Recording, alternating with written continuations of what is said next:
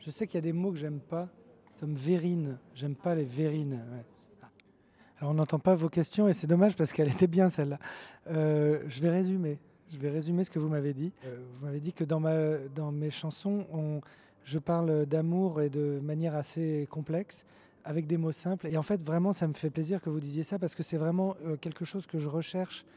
Je cherche à évoquer l'amour tel qu'il est, et pas tel qu'on le fantasme tout le temps, parce qu'il est, beaucoup plus complexe qu'on le dit, mais il est pas. ça ne veut pas dire que c'est impossible. Et souvent, c'est soit euh, magnifique, génial, hyper facile, soit impossible. Alors qu'évidemment, on sait bien que l'amour qui dure, c'est justement celui qui est entre les deux. Donc, pour moi, écrire, c'est parler de ça, beaucoup, et de façon simple si possible, parce que parler de choses complexes avec des mots complexes, ça sert à rien, parce que je comprends rien moi-même à ce que je dis. Donc, j'essaye d'être limpide en parlant de choses qui ne sont pas du tout. Il se trouve que je joue du clavier et que j'en ai joué avec Vanessa Paradis et Salif Keita dix ans avant ici. Mais, euh, mais là, je joue du clavier et je chante et je suis accompagné par des musiciens qui m'accompagnent et je chante mes chansons que j'ai écrites et donc avec des textes que j'ai écrits qui sont la raison pour laquelle je suis progressivement devenu chanteur en fait.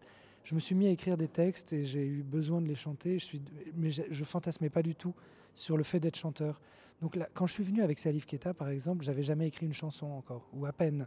C'était vraiment la naissance de ce truc.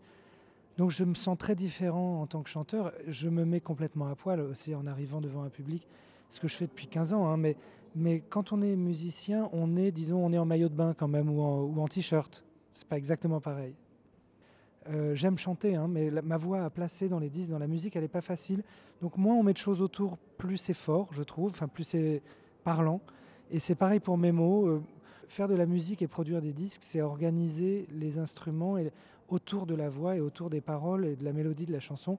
Donc c'est vraiment, euh, est-ce que là il y a des instruments qui accompagnent? Est-ce Combien? Beaucoup J'arrête de chanter, maintenant on peut mettre un orchestre. Une espèce de gestion dans le temps comme ça de la décoration de la musique. Et euh, c'est passionnant et moi j'adore faire ça. Et puis surtout, comme j'écris et que j'écris de plus en plus, c'est que j'ai de plus en plus besoin de ça et de moins en moins besoin d'accompagner des chanteurs. Voilà, ben voilà comment je vis ce crescendo vers le dépouillement.